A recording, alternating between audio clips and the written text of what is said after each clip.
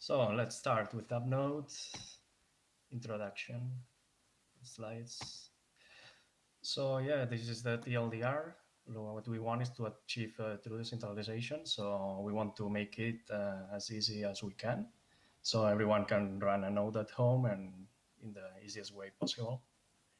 But yeah, it's not also for, for users. It's also a tool for developers right now because you know many services that we are running are actually used by developers. So here we have the situation we want to avoid on the left.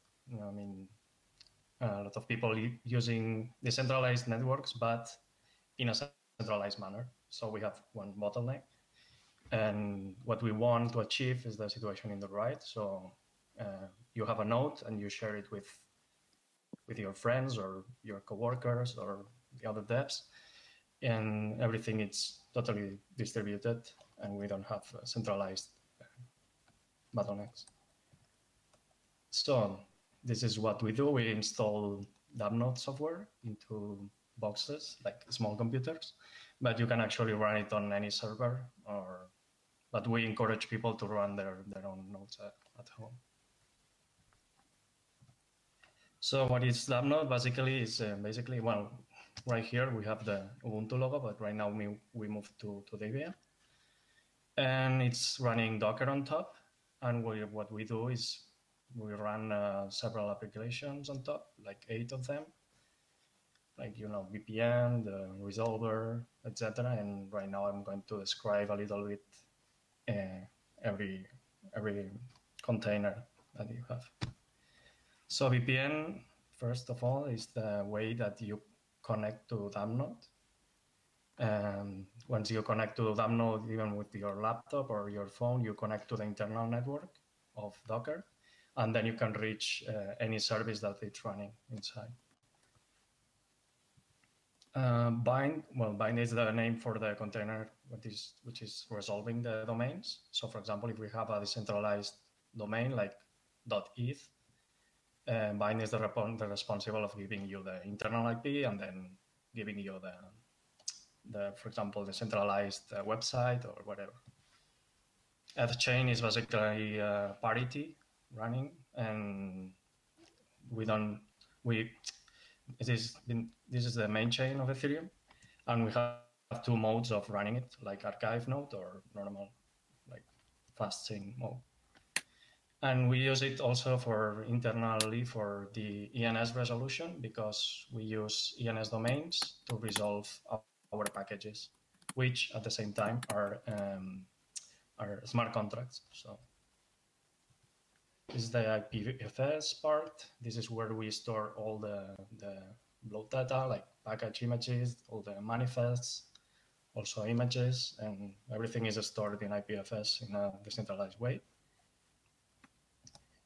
And ETH forward is another component which is responsible of giving you um, decentralized websites. So if you have a, for example, a website called decentral.eth, uh, this will be the package responsible of giving you the content. It's okay so far? Yes. Absolutely. Okay, okay.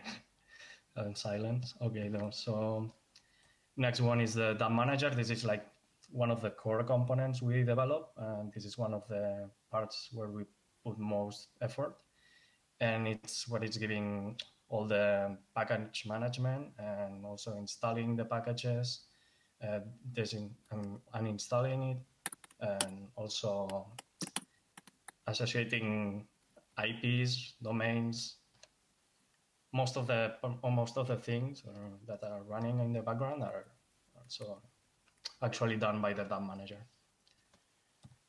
And admin is the front end, which is the, the, the front end you can see here. And it's the way you can interact with DAppNode and install the applications you want. And WAMP is it's an internal component that it's responsible of uh, handling the package communications internally. And for example, it gives uh, admin rights to the admin users and also normal rights to users that, for example, should not be able to install core packages or touching parts of the system. And it's also everything like based on JavaScript. So this is a well, this is a screenshot, a little bit old of how the, the installer looks, but you can just with a few clicks select one of those packages and install it, and it will be running in seconds. Uh, now I want to talk the of SDK is a command line tool that um, is the purpose is to make it easy to um, to actually create new packages. So we are not the only ones creating packages for DAppNode. And here I'm showing um, a JSON file, which is an example of uh, one of the manifests, is all the metadata that describes uh, one package of, of DAppNode. Here you have like uh, the name, the version, the IPFS address of the avatar, also the, the path of the image that will be installed, and also some parameters. We we give the users the, the freedom to configure a little bit the packages. So, but we want to have a balance between you know ease of use, but also um, freedom and customization. So they can set uh, those variables. I will show you later. Yeah. So this is the first part. It's just the you know the slides, the presentation. Okay. And, and now I'm going to show you one of the DAppNodes I have running. This DAppNode is running in Berlin. And here you can see the dashboard. I'm right now I have uh, three blockchains synchronizing, Bitcoin, the mainnet, which is Parity, and Goerli, which mm, three, three of them are synchronized right now. Here you can set up um, devices for for yourself or your friends or other people if you wanted to share it. So and you can also set up if they are admin, admin rights or not. If you have any question, just go ahead. This is the um, last version of the installer. As you can see, we have Raiden, Cosmos, Raiden testnet. I have this one installed. Swarm, Lightning, where there's some, there are many, and we plan to add many more. And we try to maintain the versions up to date as much as we can. Sometimes it's a bit hard to to keep things, uh, you know, updated to the last version, but I think we are doing quite well. And this is the package list. This is packages that I installed myself. And here you can see the core packages of DAppNode and you can tweak many things. For example, not this one, but the chain. You can restart it, configure, add extra options to, to the binary which is launching.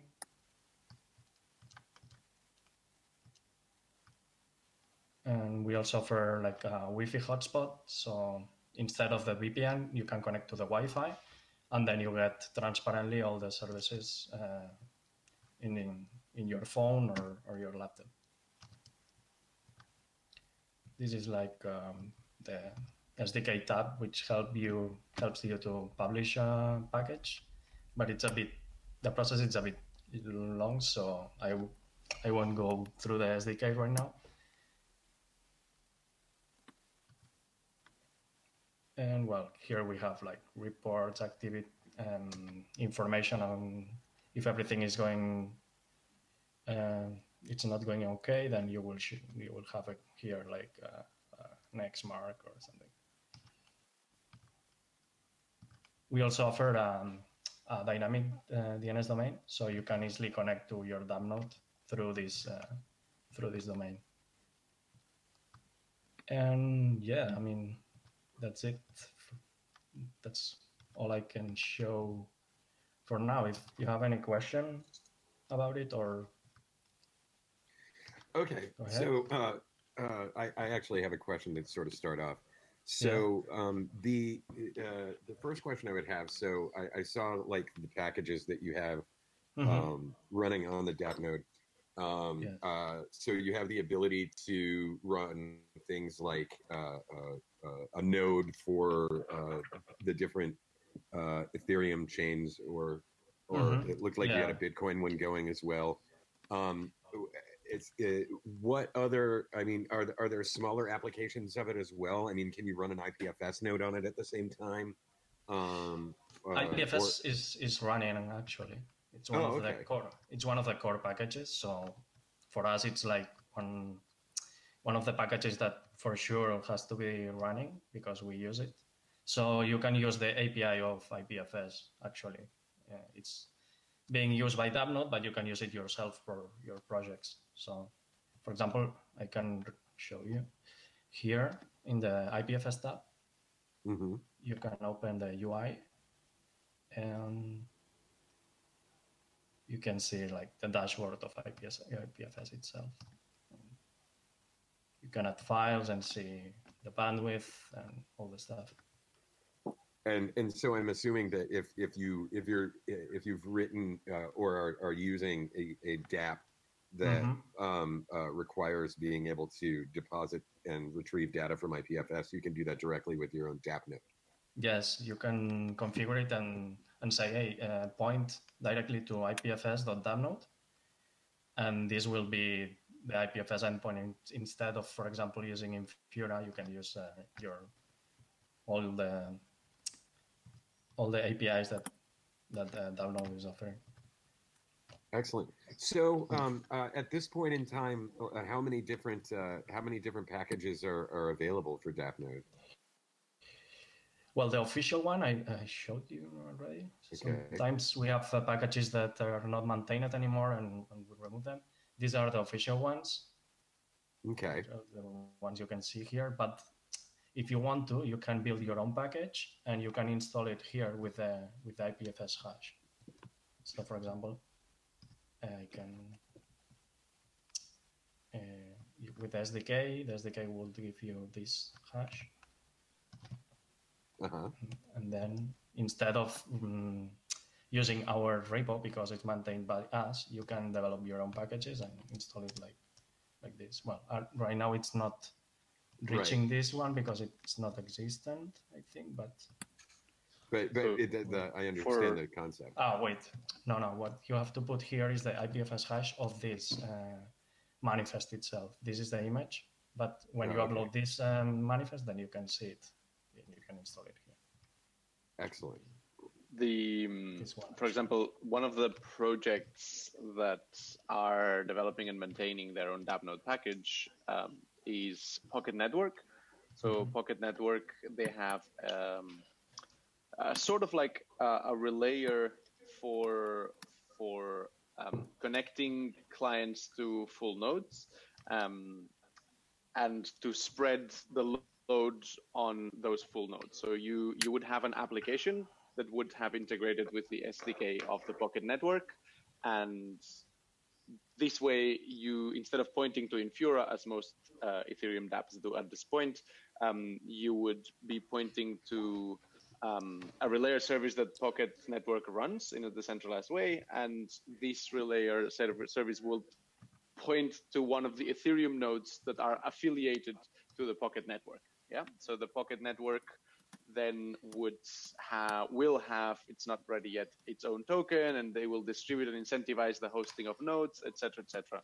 So, so the whole idea is to be able to have this whole infrastructure of servers that um, dApps can access.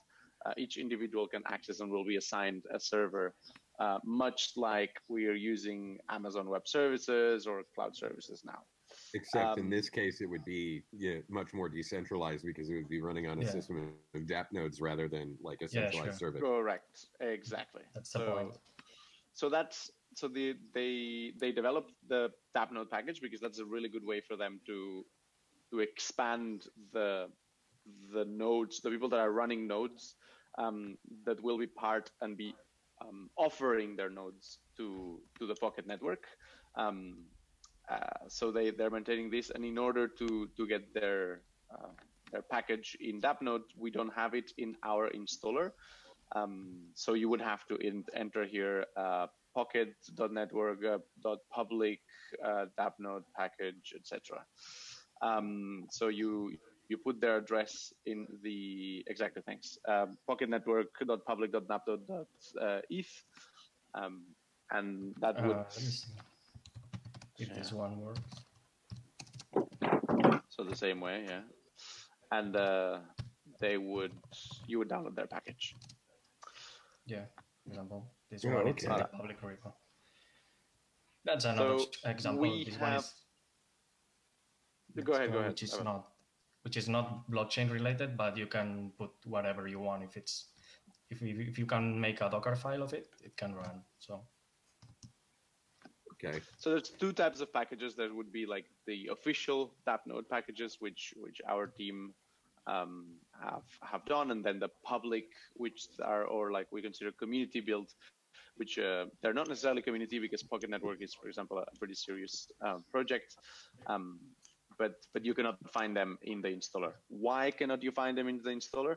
Well, because we cannot at this point we haven't found a way to ensure that all the packages that that will be put in the installer uh, will be safe and we will not Mhm. uh, compromise uh, your keys or something because when when you have the lightning network or the raiden um, then you you're actually storing value on key stores that are stored on your dap node Right. Yeah. Okay. So if Uh, yeah. You want any to package would compromise that yeah. mm, We want to keep a bit of control on, on what is uh, published there. But you, Understood. you, you always have the freedom to, to do it on your own. Exactly, but we we're very very open open source. Um, we are fully on, on the centralization, and everybody should be able to like we're making these tools so everybody should be able to do their own packages and to distribute them. So um, even though we have not found the way, that's our goal, and and we're offering like anybody if you have the address of the project of the package that you want, you can have it and you can use it without any problems. Excellent. Yeah. And actually, we plan to do workshops on how to use the SDK and, and events. So anyone can at least have some guidance on, on how to do it. It's not quite hard, but Um, do you do you have any of those like scheduled or planned already? uh, for the Web3, I think, yeah. we- Correct. have We Web3 Summit um, coming up now in Berlin Blockchain Week. I think we have. Um, so we're running a node, uh, the centralization and identity nodes, uh, which is this sort of like side event in within the premises of the Web3, um, but organized by the community. So we're going to have two workshops: one on the centralized webs um, and how to access them through DAppNode, and another one on how to create your package. Excellent. Mhm. Excellent. Um, does anybody else have any questions? Yeah, um, I would actually love to um, Um, get a little bit of. Your sound isn't coming through, Chris. I see you talking, but I don't hear you. Oh, hang on. Is it Ah, is it working now? Sorry. Can you not hear me? No, it's not coming. That is annoying. um, yeah. Still not Chris. Okay. you like, can, yeah. Okay. Maybe you can write it. I don't know. Um, Yeah. Paul, Uh, You're muted again, also. oh, hey. Paul, Hi. Uh, yeah. So, sorry. So there's there's actually um, uh, a few things that you can do with Appnode straight up that are that are quite interesting. For example, um, you can you can point your MetaMask to to your own node. So when as as you know, MetaMask um, uh, is is sponsored and sort of owned by ConsenSys, and therefore they use Infura. Um, Mhm. So you're you're pointing when you use MetaMask, you're pointing to uh, a node that is owned by Infura, and that's not necessarily a bad thing, but uh, but it as it is becoming, um, it is a very hardcore centralizing factor on on the Ethereum ecosystem. Every dApp uses Infura. What happens if Infura goes down? What happens if if you can somehow compromise Infura? Um, Right. So also, um, yeah, also, for example, the, the IPFS IP, API, sometimes it gives me errors because what I'm trying to put there is too big or they have uh, too much uh, traffic or something. So, yeah, it's it's for me it's better to use uh, DAppNode. So, So is can use. Go ahead. go ahead. Oh, I was just going to say. So, what what specific advantages there to using MetaMask with your own DApp node rather than uh, rather than just connecting to the the main network the way they normally would? Mhm. Well, I would say what what um, Paul said already, because Uh, um, I mean it's a centralizing yeah. factor. But apart from from that, um, for example, privacy. Okay. So you're not telling to Infura, okay, I'm connected from this IP and I'm using this address and I'm doing that and I'm doing this. You're putting this information on the blockchain anyway, but if you are not connecting to a third party, I think you could a little bit more privacy and also more control. Um, I, I just uh, uh, the I think the, the question that I really meant to ask was: Is there any type of a speed difference uh, between uh, how how something will end up getting getting accepted by the miners into the chain using a DApp node than it would be than, than using Hmm. Infura or something to that effect? Or is there really no substantial difference at all? For IPFS, for me it is, um, but you know, I I don't know. Um, I didn't had any difference, but Okay, I'm not an, Oh. uh, a hard user of uh, MetaMask. I use it sometimes, but as you can see, you know, I not even have it here. right. I see that. But uh, but actually, I have this application which is connected to that node, oh, but it's uh, it's Lightning. It's Lightning Network. It's not. Uh, okay. it's not uh, MetaMask. I have it in Chrome, but uh, not here right now. But yeah, I mean, Um, uh, So Chris- this this basically is um, so it- the reason why you would connect through MetaMask is to broadcast your transactions and and then so you're you're using this this sort of light light client and then you connect to an actual node, yeah. Um, So all of these queries, uh, if you needed to do something a bit more intensive, um, because you are querying the blockchain for, or you're just sending a lot of transactions because you're doing uh, tests on God knows what. Um, e- by using a third-party owned node, there they might have their own limitations on the on what they allow you to do with their node, like how much traffic can you take. Yeah, I mean, act- node. actually, I think that Infura, for example, is going to provide like um, premium accounts. That's right. So um, probably if you do like if you work a lot with uh, with the chain, you will reach this limit and it will just Mhm. block you. Or So that what the reason why you would like like to interact directly with your own node is because then you can broadcast your own um, your own transactions, and that's not necessarily faster in terms of how the miners will accept um, your your transactions or not, because that depends on whether you're paying them more gas or, or less. Um, but um, but you would you would not be capped on on the usage. You could you could continue to ping because the traffic will be from from yourself to your own node, and nobody can control this traffic, and you you will be possibly the only one that's that's using that node to broadcast or to ping um, the transactions from there. Okay, Chris had a couple of questions here. Uh, he was he, he was uh, uh, wondering if there was uh, any more info on why we should all be running DAppNodes, um, and uh, he he also wanted to know what's in it for the people who are running a DAppNode. Is there some type of financial incentive, uh, in, if that hasn't been answered before? um, well, we have uh, the BIP node package, which is a, a package which aims uh, to provide incentives to the people who, who runs nodes. But right now it's like in an alpha stage and it's not giving like real money, it's giving a testnet money. hmm But yeah, we have also BIP nodes and other ideas on how to on how to incentivize it because for a lot of people it's like okay that's uh, cost us a bit of money and yeah it's a Um, of I think- friction. I think Vdo has, has pointed to a very very important thing, and it's why. So why should people be running this? Um, because that's that's going to give them that's going to give them money. People running um, this will will give them money. So uh, going back to the vision of what we what we envision DAppNode being, which is this decentralized decentralized infrastructure layer for the internet, we're we're basically on the long term, we're basically trying to compete with all the cloud services, right? Where we've decided that um, this centralization offered by like a handful of companies are hosting a great majority of what happens in the internet right now. And that effectively brings you onto what what we can call an Amazon pack. So in order if you want to host an application online, you will need to go and uh, pay Amazon to host your your application. Um, and that's not necessarily a bad thing. I mean, cloud services are super uh, super flexible. You need you want more users, you want more capacity. You just like put a slider to one side. That's a great thing. Um, but effectively, all of this benefit, all of this profit of having, um, of hosting the infrastructure gets concentrated in a handful of companies.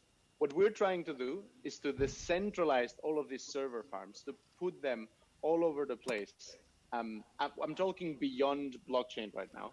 Blockchain would be the layer to, to transmit value on those network on those networks but you could be transmitting computing power you could be transmitting storage you could be transmitting what's important here is that the end goal or the end vision is to take off the monopoly of out of these big companies and bring it back to the people we're sort of like a robin hood of the computing power or of the data um, why should, if you can host a machine that runs on a protocol that that you can offer space in your machine, why should Amazon keep all the profit of offering that offering space online? If you want to offer some space, you should be able to offer that space and receive some incentive, just like they do, um, just like Amazon charges for it. You should be able to receive some incentive for that, and and you should be able to get paid.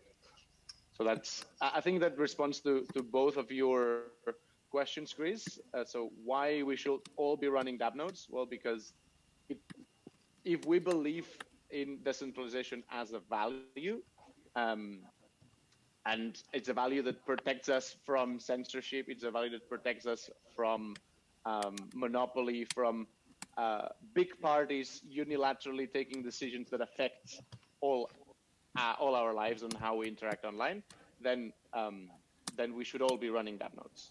Uh, and I, I all, totally agree with you. and because um, we're going to get paid a bit. Um, so here's uh, so if, if I'm to understand, uh, wait, uh, Chris is wondering if there's uh, timing on the mainnet version of that incentivization layer. Um, uh, one that is actually worth mentioning, we're I don't think we're quite there yet.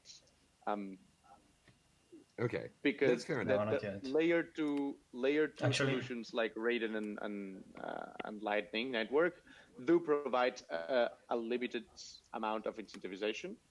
Yeah, because um, of fees, but I mean, right? Maybe it won't cover the the the money you put in in you know electricity and so on, but maybe with BitNode in the future. That would okay. be a, uh, mm-hmm. actually we wanted to to start a pool on mainnet, but it's not ready yet. But we we hope that it will be soon. Okay. Um, uh, the next question um, is related to his second question, which is about uh, minimum system requirements or, or, or whatever in order to create your own uh, DAppNodes. But mm-hmm. I kind of want to preface it with a with a second question there if uh, if you have uh, the main chain uh, Ethereum network uh, package set up on your DAppNode, um, does it store a copy of the full chain? Um, and and if so, uh, does I mean does that contribute to the amount of uh, storage space that you you're going to need? And I think the video might have disconnected. Mm-hmm. Oh no, there you are. You're back. Excellent. um, I can kind of repeat that question if if you didn't hear it. Um, in terms of disk space, if you are syncing syncing the full chain, depends if you want the full chain of the or the archive. The archive needs uh, more resources. hmm uh, like terabytes, but for a normal synchronization that will allow you to do like 95% of the things, I think it's enough to have like 250 gigabytes or or 500 disk, like an, a normal SSD disk that you could buy nowadays. It's it's enough. Okay. Um, uh, is, uh, so this isn't like doing mining. So uh, most of that isn't super processor intensive. So I'm assuming that you don't have to like get a, like an i9 or anything with like Mm, no, I 16 mean with gigs of RAM or no or- no. I I did my tests um, for all the apps we run. And I think that four gigs is is enough. Uh, Okay. eight gigs it's better because um, also the synchronization of the chain it's pretty CPU intensive. You can do it with any CPU. Maybe it will take a bit longer, but you don't need like uh, high end hardware. The DAppNodes that we sell, some of them are like high end hardware and Mhm. more expensive, but you could run it on any Intel compatible um, machine probably. Excellent. Um, so does anyone else have any other questions at this point? Just feel free to jump in there and ask.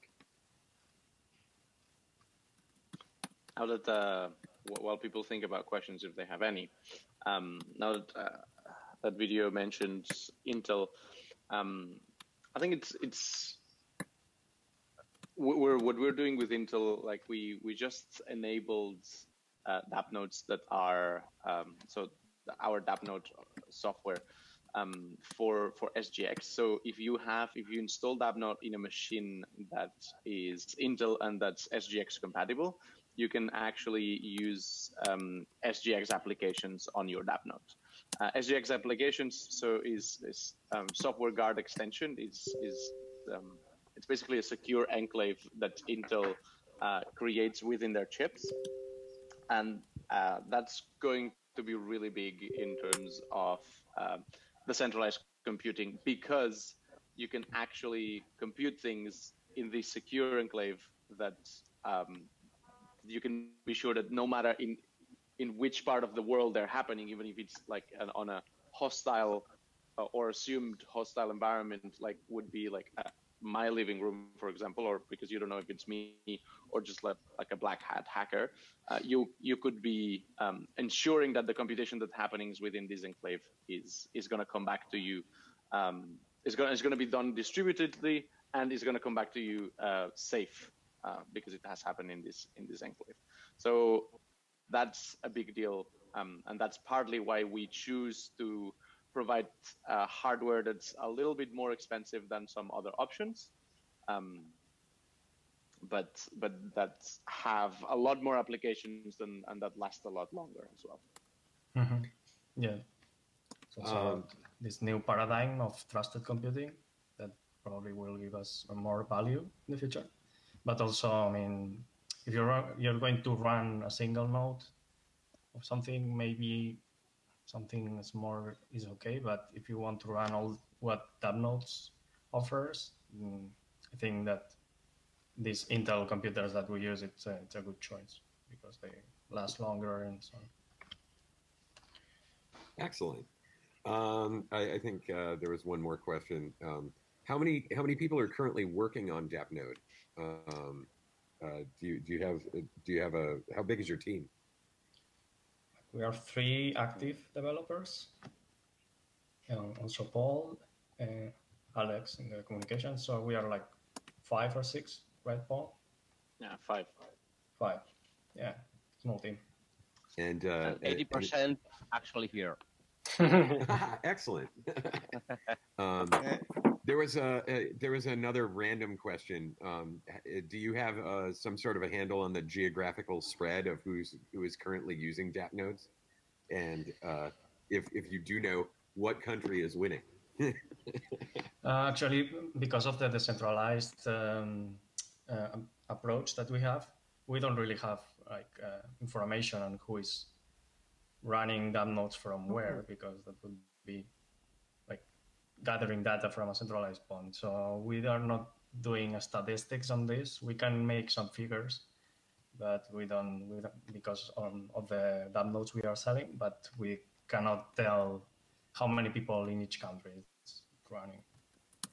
That's Okay, that's sort of by design as well, because we we we believe that um, most of our users value privacy quite a lot, um, and therefore we don't have any tracking uh, or any metrics that, that that we can use to track our users. So unfortunately, when we sell hardware, we need to have an address to sell it. So and, and we know how many hardwares we, we ship, and that's the only metric that we know.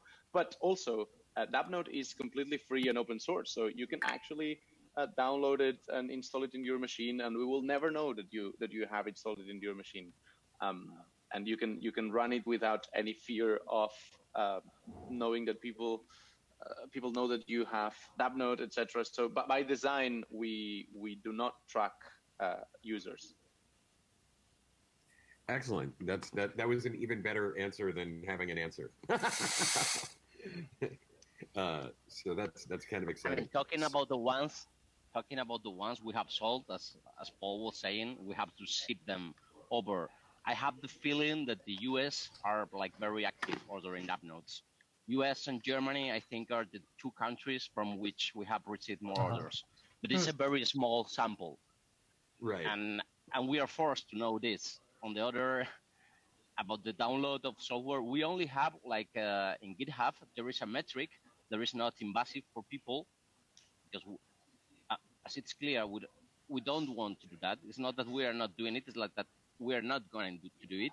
But GitHub like gives you uh, like uh, an amount of downloads, and now it's about 3k downloads of DAppNode. That for sure a very small percentage of them will be active now. But it's like it's like the, the metric to to take. It's the only metric about the spreadness, about the, the spreading of the DAppNode software that, that we have. Excellent. So um, uh, I, I guess the the next question that I would have. Um, so you're able to install this on your own hardware that you already have, but I, I guess that you guys have uh, your own hardware solutions that you offer. Mhm. um, if if someone is uh, interested in uh, checking that out uh, or finding out more about uh, DAppNode or or whatnot, is there a is there a site that uh, uh, I can point them to here? Yeah, I think I showed the, Sure. the slide. I'm Sure. So you can go I'm to writing either down in the dappnode.io Yeah, dappnode.io would be um, the site. um, and Um, if that stuff is not for you and you just want to run your own node because you want to support Ethereum or you want to support Bitcoin or Monero or you want to um, just connect directly your your MetaMask or your Joule to to to your own node, then um, without having to worry about how, to install it and etc. Etc. Then shop.dappnode.io and uh, you'll find our uh, our versions that we have for sale. This comes pre-installed, um, so it's basically it's it's literally plug and play. You would have to like when you would receive it, you plug it, um, it will turn on, then you connect to its Wi-Fi. It has a it has a Wi-Fi uh, antenna inside, and it creates its own Wi-Fi hotspot. So you connect the first time on this Wi-Fi hotspot. Um, you set it up as you want. You create a VPN so you can access from your phone. You can access it from your uh, from your laptop, from wherever you are in the world. Um, and and there we go. And you got your you got your DAppNode running. You got your node running. Um, and you can connect to it from anywhere. Well, that's fantastic. Um, so I guess I'll uh, uh, uh, thank you for everything. Um, and if anybody has any last minute questions or anything to add at this point, this would be the time. What I'm going to do is I'm going to also put the DAppNode Riot Room link here. So you Yeah. guys, You're Um, can- to. Yeah, um, uh, if you could post that uh, in the uh, social coding riot, um, Yeah. that would also be that would also be great. absolutely. Um, um, alrighty, guys. Well, I want to thank you for for uh, coming out and doing this this morning. It's it, it was great to actually see this in, in motion and, and, and working. I remember when this project got started. Um, so it's it's Hmm. really great to see how how uh, like a how far it's come and b how simple it is. to Mhm. uh, from from uh, an end user perspective. So, congratulations on a really awesome product, and, and uh, Thank you. thank you for coming and showing it to us Right. this morning. Uh, Yeah, really for appreciate it. Yeah, and so uh, if uh, if any of you are interested in a little bit more of this, feel free to stop by the uh, uh, stop by Social Coding, um, and there you'll be able to find a link to the DAppNode Riot channel. And uh, let's see, there's one last thing. Oh, perfect. Yes, it's uh, DAppNode colon matrix.org is the uh, is the DAppNode channel, um, and and uh, you know. Uh, thank you very much, everybody, for coming, and uh, we'll talk to you soon. Thanks to you guys for inviting us. I see you. See you Have a next very good one.